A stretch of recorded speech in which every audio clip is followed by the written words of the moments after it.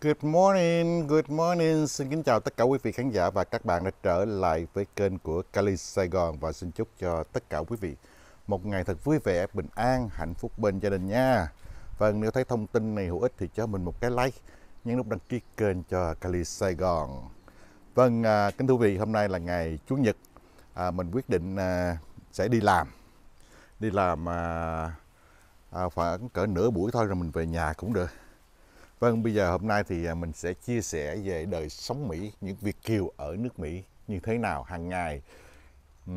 cũng như thường lệ thì chủ nhật thì thỉnh thoảng mình đi làm, thỉnh thoảng mình không có đi làm, đó là sự không ai ép buộc. À, những người Việt kiều ở Mỹ thì à, làm gì với những ngày à, thường lệ hoặc là ngày chủ nhật nha. Vâng, hôm nay thì à, tự nhiên ông trời chuyển mưa quý vị ơi. Và dự báo thời tiết là bữa nay và ngày mai mưa uhm, hai ba ngày hôm nay mình không có tưới cây. À, mình à, à, đợi chờ mưa xuống vậy để đỡ tiền nước. Vâng đây là cái ớt của mình là quý vị. Uhm. Việt kiều mà sống ở Mỹ thì hay trồng ớt. À, trong cái à, cây này mình gieo à, mấy cây ha nó có nhiều loại khác nhau. Nên là loại ớt này trắng tím và là ớt này thì à, màu đỏ trắng rất là thơm cay nha quý vị uhm, nhìn mấy ớt thì dễ thương không ôi ôi mấy trái ớt này ờ, nó giống như là cái cái trái strawberry vậy, dâu tây vậy.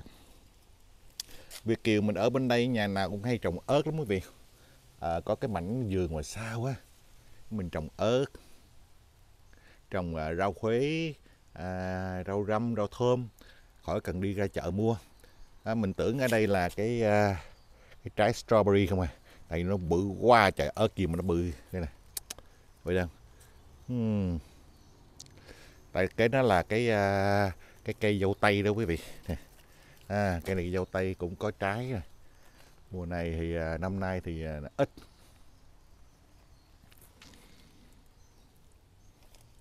ừ, ớt cái nào trái nấy quý vị ăn ăn nó thơm lắm quý vị ừ.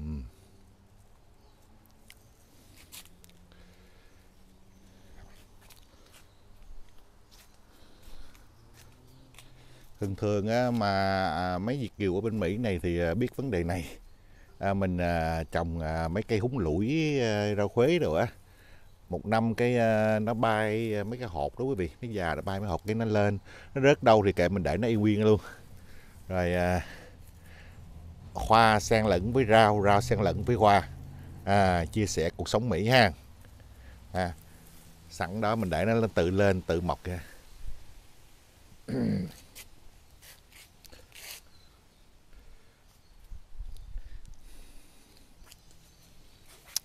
cái bông giấy. Nhà mình thì trồng ớt nhiều lắm. Ở đâu cũng có ớt mặc dù ăn ớt thì không nhiều bằng người ta đâu ăn chút chút gì thôi. À, hái thì cho nhiều cho bạn bè anh em cho người này người kia người nọ. Ừ. bỏ trong tủ lạnh đó quý vị quý bỏ trong freezer á trong cái tủ đông lạnh á thì không có hư à, để à, cả mấy tháng trời cả năm không sao nữa. Mấy cái hộp của nó đó nghe quý vị. Mặc dầu mình bỏ trong cái cái tủ đông lạnh một năm đi ha. Quý vị mà tới mùa hè đó mùa hè năm sau á khoảng cỡ là tháng 3, tháng 2, tháng 3 thôi quý vị đem ra bị gieo nó vẫn lên như thường đâu quý vị. À, cái cái cái à, nguyên tử nó nó vẫn sống. Ừ. cũng giống như là mình thường nói ha. À, ở đâu cũng thấy ớt hết trơn á ôi già chú chả ơi ớt bự đẹp không? Nó thơm lắm quý vị ơi. Cái ớt này nó nó nó nó cũng là giống ớt hiểm nhưng mà nó cay hơn ớt hiểm gấp đôi nha. Rất là thơm luôn.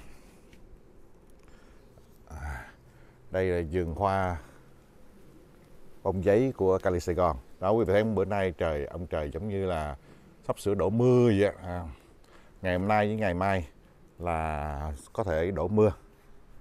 À, mình tranh thủ ra ngoài vườn quay chia sẻ đời sống của à, quý vị. Năm nay mình trồng bầu cái à, mấy dây bầu này. Nó bị mấy con ong hay con gì nó ăn hết trơn hai ba cây lên thôi nó ăn cây hết trơn. Đây là dưa hấu đó quý vị. À, chắc năm nay chắc không có trái đâu nó cũng ra bông rồi nè. Nhưng mà chắc không có trái đâu. Ừ, không kịp rồi sắp sửa tới mùa thu rồi có sắp sửa vào mùa lạnh này. Dây bầu này lên. Năm nay thì à, thất thu rồi. Ừ. cũng may là mình để cái vàng này lại để cho nó leo. À. À thành quả của mình sau bao nhiêu ngày tháng nay quý vị thấy không? Đây là một trái bầu. À ôi da trái bầu này bự rồi nha. Để coi à, uh, bơ ăn được chưa? Để mình bấm thử nha. Dạ chắc được rồi nha. À, xuất sắc luôn trái bầu này. Quá đã. Uhm, bự lắm quý vị ơi. Đây này giặt được rồi. À, để chút xíu nữa là già nữa nha. Cái này là ăn được rồi. Bự lắm quý vị. Cái này cũng khoảng cỡ uh, một găng tay.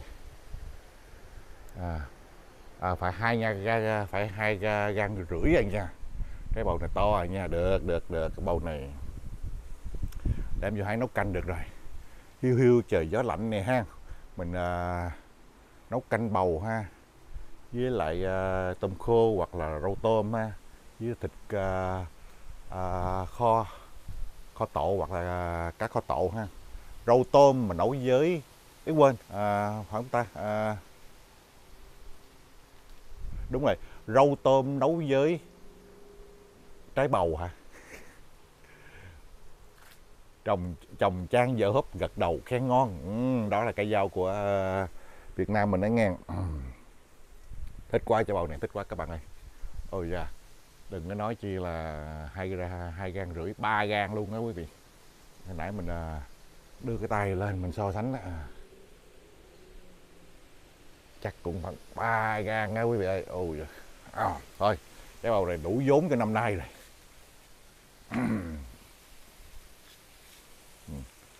cũng như à, mình nói nãy quảng cáo không xung quanh mình là ớt ớt ớt ớt. Ớt này ăn đã lắm quý vị ơi. Trái nó thơm ăn vô nó nồng và thơm nồng và thơm. Còn à, dưới cái ớt á, là những cái loại à, cái à, rau húng lủi rau à, này kia nè ở mỹ nó gọi này cái này là basil. Này nó rất là thơm quý vị. Ồ nó thơm như là cái này loại basil của thái vị của thái lan á. Ừ. thơm lắm. Cái này mà mình à, à, cá mà mình cá chân tương hay à, cá strip bass á, mà mình đem chân ha hay cái à, loại cá nào cũng được. Rồi à, chân tương à, bún tàu có gừng rồi ha hành lá rồi ha. Xong rồi ha mình hái rau ở ngoài sau giường này nè vô mình cuốn bánh tráng.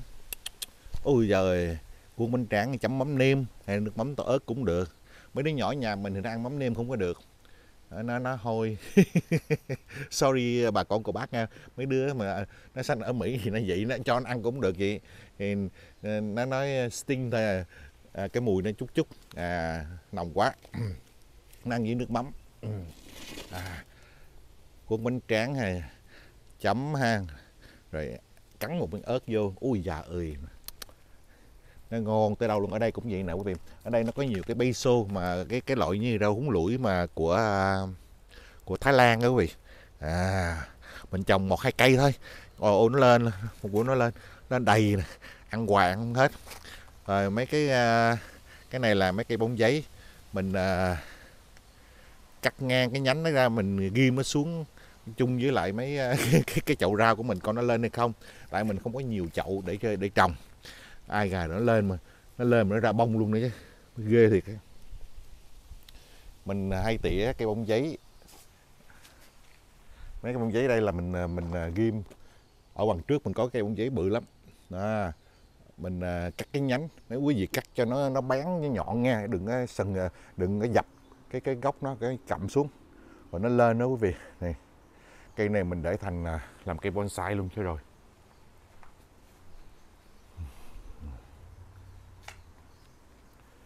Nhà mình thì có ờ, một cây ờ, tắc. Cái này là tắc chua tắc này nó chua lắm. Ừ, tắc dài dài dài dài. Tắc chua còn bên đây thì mình có một cái cây, cây tắc nữa. À, nó tròn hơn mà nó ngọt. À, nó ngọt ngay ở ngoài dưa ăn vô nó ngọt lắm. Mà cái lá nó cũng khác nhau ha. Cái lá này thì nó hơi tròn tròn hơn ha. Lá tắc tròn á. Còn mà cái uh, tắc chua thì cái lá nó dài dài. À, thì ra là như vậy.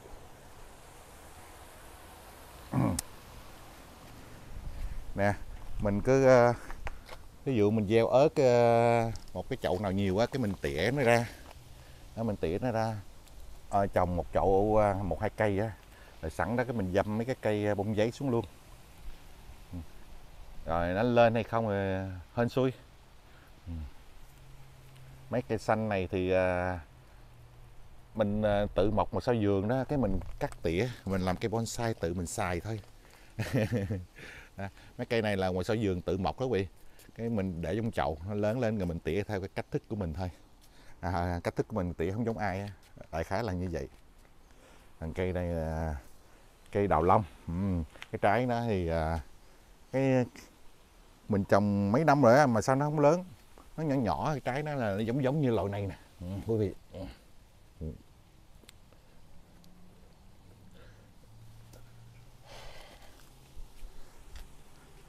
à, Việt Kiều đi làm về hoặc là sáng sớm là ra coi cái vườn cây của mình vậy thôi. Cây này là cây uh, mai Mỹ. Nó cũng khoai vàng cũng nở vào dịp Tết nhưng mà cái lá nó nhỏ. Lá nó không có lớn. Ừ. Mình à, trồng bằng hộp thành đây là những cái ờ, uh, cottage nè những cái xương rồng nhỏ nhỏ đó. À, mình trồng trong mấy cái chậu nhỏ nhỏ này. À, mình muốn trồng sao trồng muốn ghép sao ghép muốn làm sao làm. À, à, mấy cái kiển thì mình ít có mua lắm. Mình ờ, tận dụng sao giường nó mọc cái gì. À, giống như cây này nè. À, mình uống cái ờ, thân của nó như thế nào thì cũng tùy theo mình. À, thích uống sao uống nhưng mà mình biết là không có đẹp à, không có xuất sắc lắm nhưng mà cây mình không có mua mà. Mình ở ngoài sau vườn của mình. Nó giống như mấy cây xanh này nó tự mọc nè. Rồi mình uống theo cái lưng của nó nè. Nó giống như rồi à, dáng rồng nè hoặc là cái dáng à, thu phong nè. À, dáng ngã ngã giống như thu phong vậy nè. À. Quý vị thấy ở nơi đâu cũng có ớt hết trơn thấy không? Chia sẻ cuộc sống mỹ là như vậy đó. Nó à, an nhiên tự tại trước khi đi làm mình ra đây mình dạo một vòng cho quý vị xem. Cái này nó cũng thuộc loại là đào long nhưng mà này à, nó ăn nó giòn hơn. Cái thân của nó mình tính một á mình để trong cái chậu bự như này nè. Rồi cái à, nó nó càng lớn á thì mình càng cắt nó cho nó không lên cao giống như mình làm cái kiểu mà dạng bonsai trái cây đó quý vị. Ở Việt Nam mình thấy à, có khế làm bonsai nè ổi đủ thứ mình bắt chước mình làm theo như vậy. Vậy thấy không? Mấy cái cái rau quế nè đó, nó chết đó, nó khô nó chết rồi cái hột nó, nó bay bên đây bay bên kia bay bên nọ. Rồi tới năm sau nó lên thôi. Ơi và cái vườn à, rau này có cà chua nữa mà bị con gì nó chắc có sâu hay là sao thấy nó ăn lá tè tu hết trơn. À cái này có sâu rồi thế nào? Sâu hay là ốc sên đó quý vị? Ốc sên với sâu nó khoái ăn mấy này lắm mấy lá non lắm. Rồi được rồi để mình sẽ dùng thuốc trừ sâu. Uhm, nghe thôi ác quá ha. Con sâu nó cũng co mạng sông chứ. Nè quý vị thấy không? Cây à, à, biết gì không? Đố quý vị. À, đố quý vị biết. Ai mà biết được sẽ có thưởng. Uhm, ai mà biết được mình sẽ thưởng một cây vỗ tay. à, đây là rau khuế đó quý vị. Cây nó to ghê quý vị ha. À mình à, ăn phở hay ăn gì xong đó quý vị. Cái nhánh đó này nè.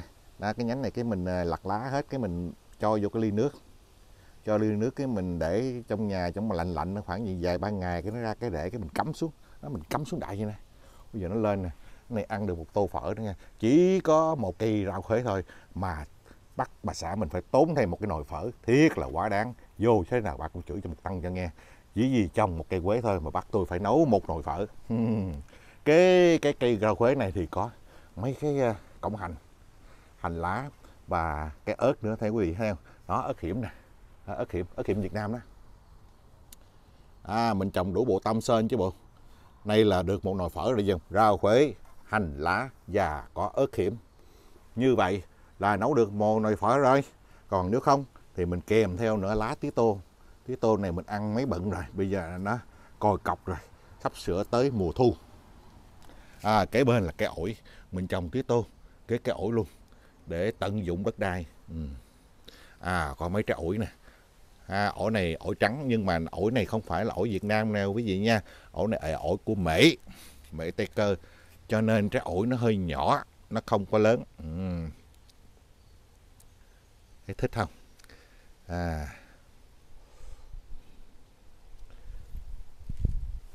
Nó, à, nó, nó lớn hơn cái cái này chút xíu nữa là được rồi. À chứ nó không có không có lớn nhiều à, bằng ổi Ấn Độ. Ấn Độ thì trái ổi khoảng cỡ nửa ký. Ổi Việt Nam thì cả ký lô lận quý vị. Còn mấy ổi này nó chút chút à. Nhiều khi à, 100 ờ, gram 200 gram thôi à. 100 gram mà chứ. Ừ cũng như đã quảng cáo Việt Kiều thì thường thường là trồng ớt. Không biết cái tánh tôi có ghen hay không mà đi đâu cũng ớt là ớt. Chắc ghen nhiều lắm đây. À, ở dưới là là chấp cá ha. À, bên đây à, thì cũng vậy cái ớt rồi có tí tô. Uhm. rồi à, lại là ớt. Ớt ơi là ớt chắc chủ nhà này chắc cũng ghen lắm nè. Ông Cali Sài Gòn này chắc ông ghen lắm. Cho nên xung quanh nhà ông toàn là ớt với ớt. Ở đằng kia xa xa thì chúng ta có không có rau đắng mọc sau hè mà sau hè thì Cali Sài Gòn lại trồng.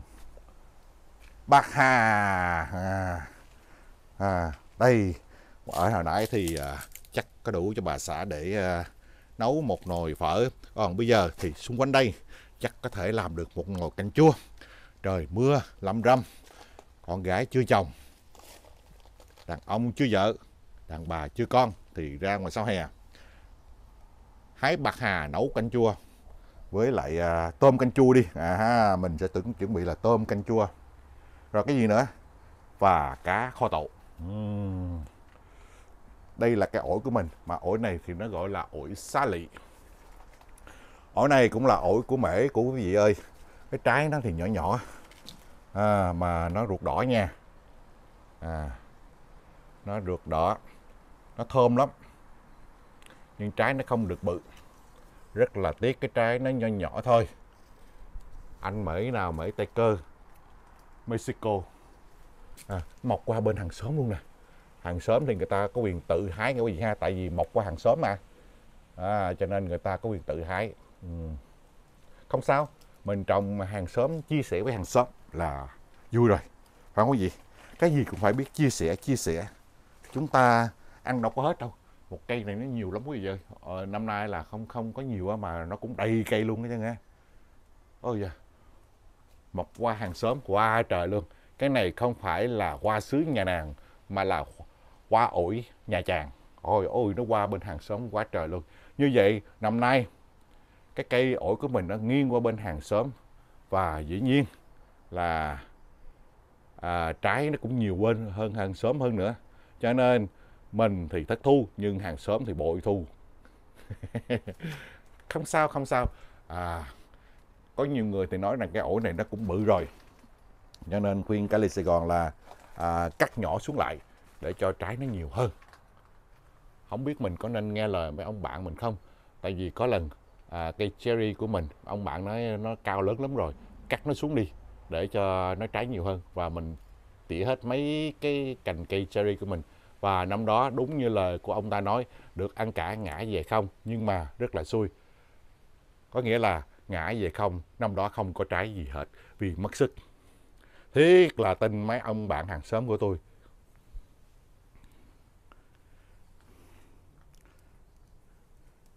Việt Kiều à, ở Mỹ nếu quý vị thì à, mình đi làm về, không có thú vui với điền viên nghĩa là trồng cây. À đó thấy không? Bạc hà và sau hè của mình thì cũng có um, một hai chiếc xe đạp để rảnh rảnh. Thì ờ, mình tập thể dục và cởi xe đạp bom bom bom bom đi chơi. Vòng vòng ở khu vực này thì cũng có mấy cái ờ, công viên đó quý vị. Ừ. À, đó là xe đạp của tôi.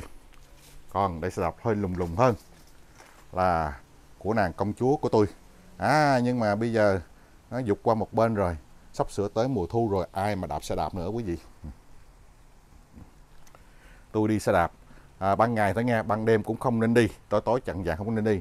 Vì cái tướng tá của mình đẹp trai cho nên nhiều khi sẽ bị mấy anh à, nào mà à, công công nữa hang bắt bỏ lên xe thì sao? À, phải không quý vị hang khi mà tôi nói câu đó à, mình sợ mình đẹp trai bị bắt cóc thì bà xã tôi phản ứng rất là tế nhị. Bà chỉ đưa tay lên miệng và úi cho một bãi thôi bà hay bà hay làm cử chỉ đó lắm. Làm tôi đôi lúc cũng rất là tự ái. Dập cá này quý vị đây là cái cây đào long. À, cây đào long ở mỹ nó quý vị nó có nhiều loại lắm nha cả chục loại lắm á. Đây là tôi ăn hộp rồi tôi bỏ tôi gieo lên đây. Còn đây là những cây bonsai của mình trồng đây.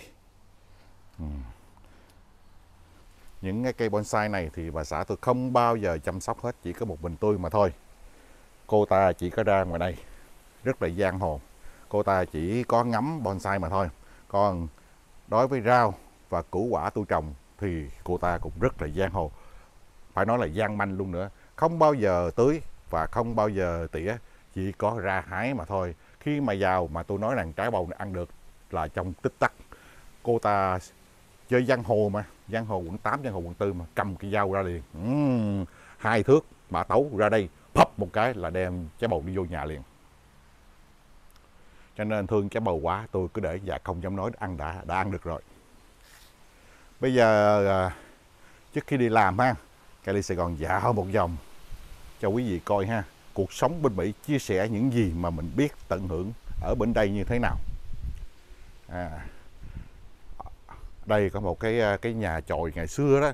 Ở nơi đây là một cái cái cái spa. Cái giống như là cái chỗ mà để ờ, mình tắm ấy, nhưng mà không không phải là hồ bơi nó nhỏ nhỏ vậy thôi. Để cho mọi người ờ, gia đình chung vui. Nhưng mà sau khi nó hư rồi rồi tôi lột bỏ luôn dục luôn. Và bây giờ chỗ này thành là chỗ đồ kho. À, cũng như quý vị thấy đây là chỗ cái cái lò barbecue. Hai cái máy giặt còn y nguyên vẫn để ngoài này trong khi Việt Nam. Người ta, cái máy giặt không có giặt, cái máy sấy không có sấy mà mình để ở ngoài này, thật là uổng. Với một cái bàn, mà cái bàn quyền thoại này xài không bao giờ hư, cái gỗ nó dày cọm luôn. Thôi, cứ để đó, chừng nào có tiệc tùng thì mình cứ đem vô. Bây giờ chúng ta đi một vòng nữa, quý vị nha. À tôi sẽ giới thiệu cho các bạn. Tôi đã ăn được tất cả là ba buổi rồi. Đây là mồng tơi. Cái lá đầu tiên nó bự lắm nghe quý vị nó bự hơn đây đây đây. Nói không nói ngoan. Cái lá mồng tơi đây đây. Quý vị thấy chưa? Nó bự như cái bàn tay của tôi vậy. À, cái lá trước nó còn bự hơn nữa. Cái này là ăn đã ba bốn nồi rồi. À, tôi đâu có trồng đâu. Vô tình nó rớt hai ba hột ở đây rồi nó lên hai giây. Rồi thế là tôi nói với lại người đẹp của tôi là sau giường của mình có cây mồng tơi? À mà người đẹp của tôi cũng không biết mồng tơi là cái gì. Và tôi phải chỉ đây là cây mồng tơi. Hỏi tôi ăn được chưa? Tôi mới vừa nói um, ăn được rồi. Thế là xách cây dao khoai ra. Ý quên xách cây kéo ra. Bập bập bập bập bập rồi thế là cây mồng tơi của tôi nó như thế này đây. À đứt ngọn đứt đầu đứt đuôi đứt tùm lum hết. Thế mà cái gì tôi nói ăn được rồi là bà xách dao xách kéo ra phòng liền. Táo tàu nè quý vị. Ừ, mùa này là mùa táo tàu. À.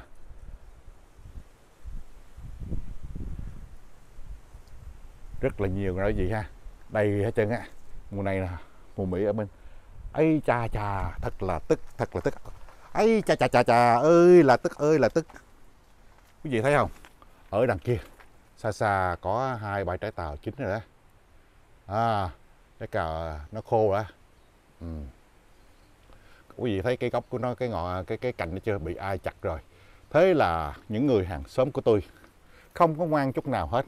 Đi ngang ra đây thấy cái cây cái cái nhành cây táo tàu đó nhiều trái lắm quý vị. Bợp tôi thấy nhiều lắm. Ừ, bởi zoom lại cho quý vị xem nha. À, nó lồi ra ở ngoài đó quý vị. À, thấy chưa? Zoom lại chút xíu nè.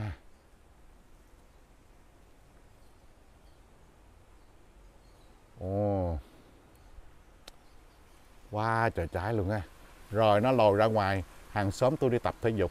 Thế là tiện tay họ xách cây kéo hay là một cái kèm bự. Họ cắt luôn nguyên cái nhánh luôn. Tại sao không vô nhà tôi gõ cửa? Gõ cửa trái tim tôi đi. À, gõ cửa trái tim. Rồi như thế là tôi sẽ cho vô hái táo tàu thôi. Cần gì mà phải cắt nguyên cái nhánh bự như vậy? Thật là tàn nhẫn với cây táo của tôi mà thiệt là tàn nhẫn quá đi. Thật là tàn nhẫn quá. Cây táo ơi tội nhà ngươi quá bị người ta chặt một cánh tay. Chặt một cánh tay rồi. Cũng như ở Việt Nam mấy bữa nay nghe tin tức chồng chặt vợ một cánh tay vì hái trộm táo tàu. Không phải. À vì cãi lộn thôi nghe. Rất là tàn nhẫn phải không quý vị ha? Trời ơi táo mà nó rụng nè. Nó rụng tùm lum hết. Nó rụng vô đây luôn nè quý vị. À, dơ quá mà thay mình cũng có cái tội. Hái thì không hái mà nó rụng thì lụm lên ăn. Thiệt tình. À.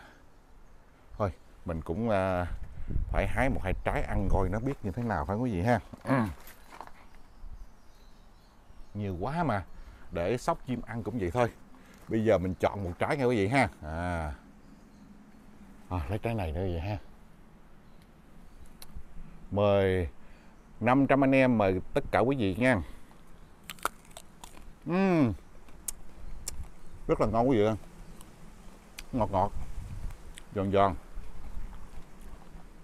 Cắn một miếng nữa.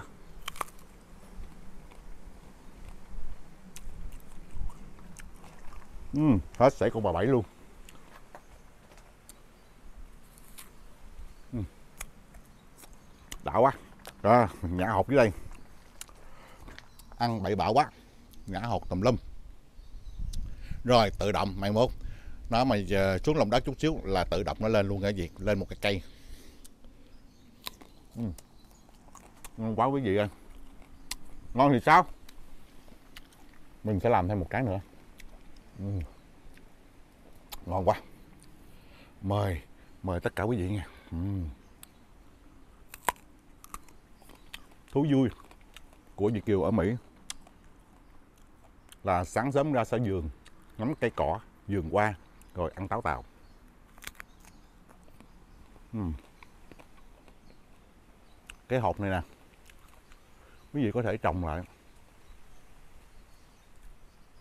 Nhưng mà nó hơi lâu. Cây nó lớn hơn lâu. Ừ.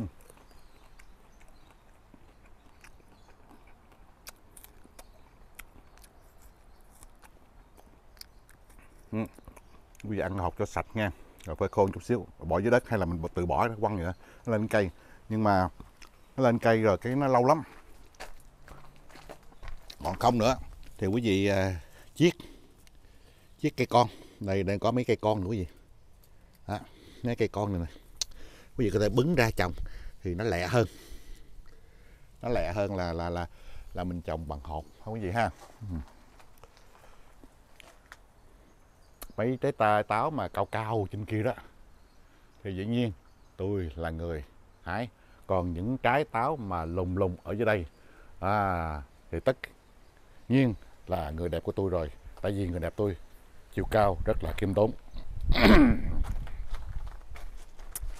Ăn táo xong xuôi còn à, buồn buồn thì mình ra mình hái cam mình ăn. Cam bên Mỹ này thì nó khác hơn cam bên Việt Nam nó gì ha? À, nó vàng ươm vậy nè. Nhưng mà hái thì không được ăn liền nha. Cam bên Mỹ là quý vị hái xong xuôi phải quý vị phải để hai ba ngày thì nó mới ngọt. Chứ hái mà xuống ăn liền thì nó chua. À, không bằng chanh nhưng mà sẽ làm cho quý vị quẹo cái lưỡi nhăn cái mặt lên như là con khỉ. Tôi ăn cái hột gì tôi hay quăng vào chậu để cho nó tự mọc cũng giống như mấy cây mai này đây. À, quý vị thấy không? Cái cây con này thấy không? Nó tự mọc lên mà thôi. Ô bên đây cũng vậy nè. À, à, à, nó thành một cái cây. À, tôi uống theo cái cái uh, sự suy nghĩ của mình. Đôi khi nó đúng và đôi khi nó cũng chẳng có giống ai hết. Nhưng mà mấy cây này là tự mình trồng nó lên bằng hột không có tốn kém không có sợ gì hết. Đó giống như mà cây thiên tế của tôi đây. Là tự tỉa ra từ cây con ý cây, cây mẹ nó riết nó lộn. Hột dịch cũng lộn dép còn có lộn số nữa mà. à, xung quanh nhà của Cali Sài Gòn toàn là ớt. Ớt ớt ớt lúc nào cũng là ớt ớt ớt ớt. Cũng như mình thường nói cứ quăng vào một cái chậu nào đó tự nó mọc lên cũng như mấy cây ớt này. À, không biết nó kịp ra mùa thu hay không. À, cây bên đây nó cũng nó cũng có trái rồi nè vài ba trái rồi nè. À, cái đó trong cái chậu là cần nước. Quý vị thấy không? Cần nước nè con có con sâu hay con gì nó ăn rồi. Nó ăn nhưng mà cũng để lại cho mình một phần. Vì con sâu này nó cũng thảo ăn nó không ăn hết nó chừa lại cho người ta một phần. Có nghĩa là ăn trái nhớ kẻ trồng cây. Con sâu này nó cũng nhớ kẻ kẻ trồng cây. Mày ăn hết năm sau tao không trồng đâu. Uhm. rảnh rảnh thì à, mình làm mấy à, cái cục đá. Rồi à, mấy con à, vật mình gắn lên mấy này để mình bỏ trong cái chậu bonsai của mình đó quý vị. À. Ờ. Như Kiều ở Mỹ chia sẻ cuộc sống Mỹ. Rảnh rỗi thì sao? Rảnh rỗi xanh nông nổi có nghĩa là ra sau giường trồng cái này trồng cái kia. Ê, cây cà chua mong sao mong sao mau lớn mong sao mau lớn đi nha mong sao mau lớn đi nha. Ơi trời tôi thì rất sợ sâu. Hồi nãy đưa tay vô lá cây này lá này nó cong cong tôi đưa vô thấy mềm mềm tôi sợ quá trời tưởng là con sâu. Cái con gì không sợ nhưng lại sợ con sâu. À, ớt này cũng này cái ớt là ớt hiểm mà ớt này nó lạ lắm quý vị khi trái ớt đỏ này quý vị cắn vào thì nó không cay gì, nó the the. Nhưng mà tím như thế này, quý vị cắn vào thì quý vị sẽ thấy chín ông trời bơi ông mặt trăng liền, nó cài xé lưỡi luôn.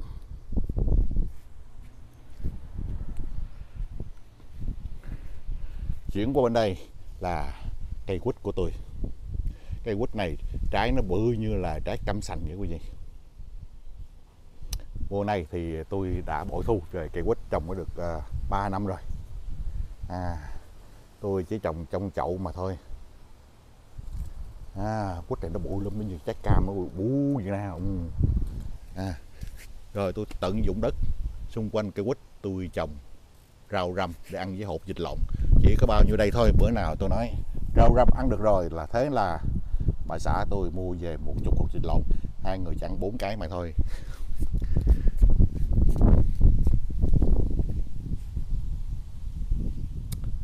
Kha kha kha. Cây mai. Cây mai quyền thoại của tôi đây. Lá thì nhỏ, bông cũng vàng, nhưng mà không có được rực rỡ như là cây mai Việt Nam. Rất tiếc, ở xứ Bắc Cali này thì lạnh quá, cho nên trồng mai không được, chỉ trồng mai Mỹ mà thôi. Đây, những cây tí tô nhỏ nhỏ tôi tỉa ra ở ngoài này trồng một chậu cho nó tốt cũng ăn được một hai đợt rồi. Cũng giống như cây này là cây bông giấy. Tôi cũng cắt ra từ cây mẹ. Rồi cho nó lên đây. Cho nó vào chậu và sống. Còn những chú à, những cái chú mà à, như chú bò chú trâu như thế này đây. À, tôi cho mấy cái cây xương rồng vô. À, để tạo hình dáng. Mình tận dụng đất đai chậu của mình có. Và mình làm không có gì ha. Khỏi tốn tiền mua. Uhm, đây là một cái uh, chú uh, hổ mẹ và hai chú hổ con. Tôi đã tận dụng trên đây có một khoảng trống để đất và trồng những cái loại xương rồng trong đây. Và trong cũng ngộ nghĩnh rất là đẹp. Nè cái chỗ gì coi nè ha. À. Cũng đẹp lắm chứ bộ. Uhm kế bên có ông địa ngồi đó. Ông Phật chí Lạc hay là ông địa Phật chí Lạc ha? Canh chừng à, ông Phật chí Lạc ngồi đây tĩnh tu và xem chừng có ai vô hái trộm à, giường bông giường hoa của tôi hay không. Cái mai này cũng tự ngoài nó mọc ngoài sau giường lên nữa quý vị. À, bây giờ cái tôi uống nó uống nó theo cái hình cong à, hình cong theo hình như là à, con rồng đi ha. Đại khái là như vậy. Việt Kiều ở Mỹ thì à, cuộc sống nó đơn sơ như vậy đó các bạn. Sáng ra tập thể dục khuấy cà phê uống rồi đi cái sau giường. Nếu mà không có mưa thì mình chăm sóc cây cối chia sẻ cuộc sống như vậy.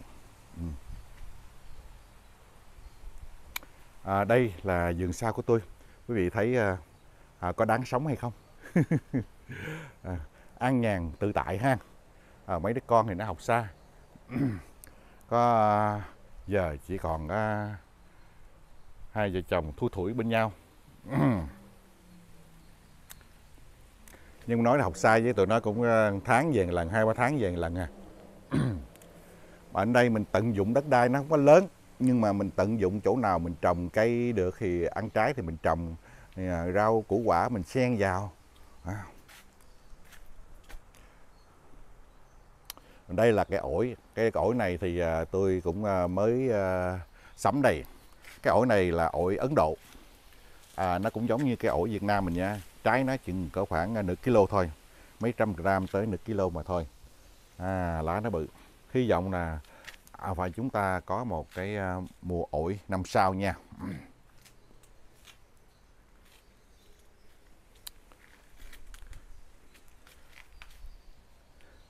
Cuộc sống bên Mỹ à, quý vị cảm thấy nó màu hồng phải không? À, sáng sớm cái à, thức dậy quấy cà phê tập giãn gân giãn cốt chút xíu rồi bắt đầu ra ngoài sau giường ngắm vườn hoa rồi à, vườn rau. À, trái nào à, ăn được thì mình ăn trái nào không ăn được thì à, mình đừng ăn ngu gì ăn.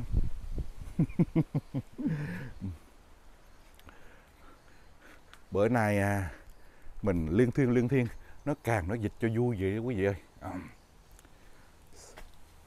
À, có tất cả quý vị ở đây thì mình còn san sẻ cuộc sống ở bên Mỹ như thế nào để cho quý vị biết ha. Và quý vị uh, comment cho mình để lại những lời bình luận ha. Cây trồng sao trồng sao để mình biết.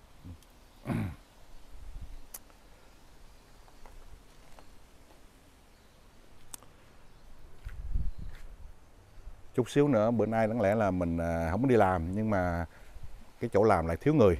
Cho nên thôi mình thấy như vậy đi cũng đi làm. Một ngày đi làm thì cũng kiếm được à, nếu mình đi làm nửa buổi cũng kiếm được đại khái cho 100 đô đi. Đó đại khái là vậy thì cũng à, trang trải được cuộc sống của mình.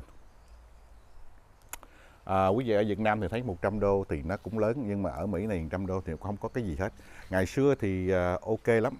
Cách đây à, cũng à, khá lâu năm 1900 hồi đó khi tôi mới qua Mỹ. 100 đô quý vị đi siêu thị quý vị có thể đem um, mua đầy ắp xe luôn một chiếc xe bự luôn. Bây giờ 100 đô đi vô siêu thị quý vị chỉ mua được có vài ba món là hết 100 đô rồi. Ừ. Rồi đây là phần ờ, chia sẻ cuộc sống Mỹ đời sống Mỹ phần 2 nha. Lần trước thì mình chia sẻ về sự uh, uh, các con đi học làm sao rồi xe đưa rước chính phủ giúp đỡ làm sao. Bây giờ chia sẻ về cuộc sống uh, an nhàn tự tại bên Mỹ như thế nào. Rồi à, chúng ta sẽ chia sẻ những cái cuộc sống Mỹ à, phần khác và những chủ đề khác nha quý vị nha. Hôm nay chúng ta chỉ nói về những trái cây sau giường và cuộc sống có an nhiên tự tại hay không và Việt Kiều sống ở đây có thoải mái có vui vẻ hay không.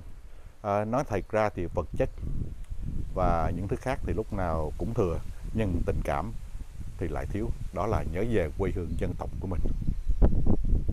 Ok, xin cảm ơn tất cả quý vị nha và xin hẹn lại tất cả quý vị trong một video nói về đời sống Mỹ phần 3 nha. Xin chào, chúc quý vị một ngày thật vui vẻ, bình an và gặt hái nhiều thành công trong cuộc sống. À, vâng, nếu thấy thông tin này hữu ích thì nhớ cho mình một cái like và nhấn nút đăng ký kênh cho Cali Sài Gòn. Thành thật cảm ơn tất cả quý vị thật nhiều.